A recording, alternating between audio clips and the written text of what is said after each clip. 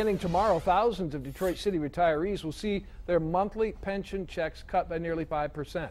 It was part of the concessions agreed to by retirees in order to avoid steeper cuts during the city's bankruptcy proceedings. 7 Action News reporter Jane Park tells us those cuts are going to be a harsh reality for some.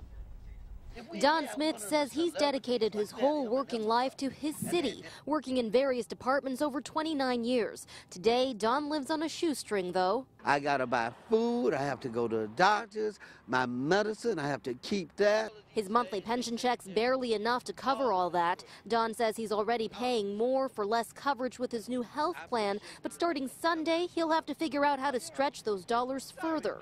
Retirees who worked in general city departments will see a 4.5% cut to their monthly checks.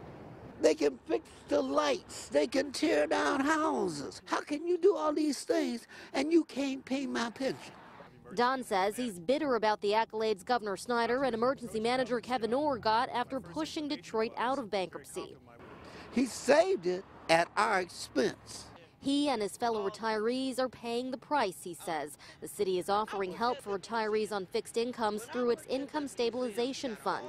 Don says he applied for that and hasn't heard back. He figures with this latest cut, he'll be qualified for some welfare programs, but Don says that's not how he envisioned life after his service. I worked all my life.